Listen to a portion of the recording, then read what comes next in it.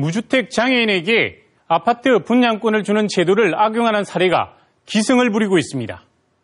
전매를 통한 부당 이득을 가로채는 방식인데 이 같은 사기를 막을 수 있는 특단의 대책이 필요합니다.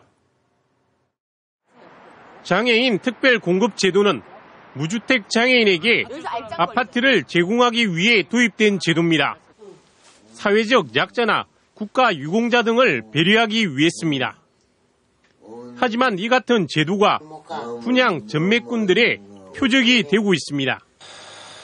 지난 2011년 분양된 그제의 한 아파트. 지체장의 사급에 75살 황상수 씨는 사기를 당했습니다.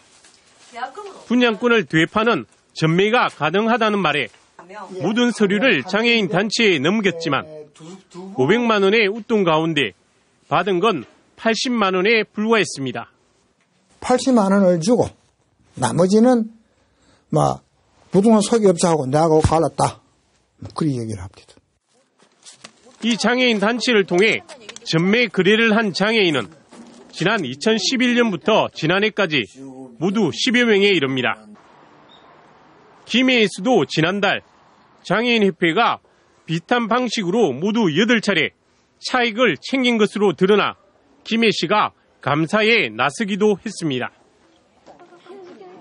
사회적 약자를 배려하기 위해 만든 제도를 악용하는 것은 파렴치한 범죄 행위입니다. 행정당국은 엄격한 감독을, 사법당국은 철저한 수사를 통해 장애인 명의를 이용한 전매 사기를 막아야 합니다.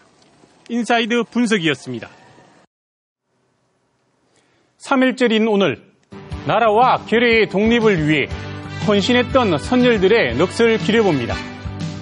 하지만 선진국 진입을 앞두고 오늘날의 한국은 제대로 가고 있는지 우리 모두 자신의 모습을 되돌아봐야 합니다.